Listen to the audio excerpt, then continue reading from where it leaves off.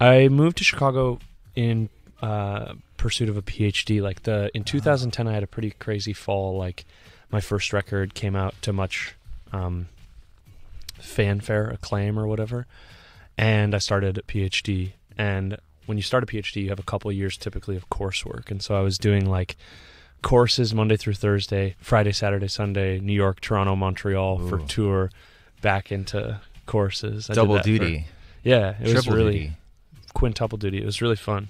every duty. So, did you get the PhD in music? I'm still working on it. So, Okay.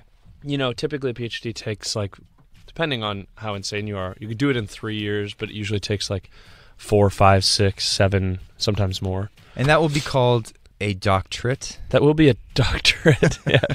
Um, but also, obviously, like, it's funny, like, some people like give me. Can I swear on this radio show? Oh fuck yeah! Some people give me shit for like not completing it yet, but I've been in a PhD program for six years and Who's I've giving put you out shit four for that? albums.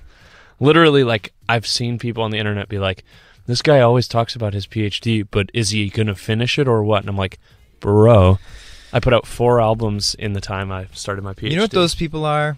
haters? Jealous.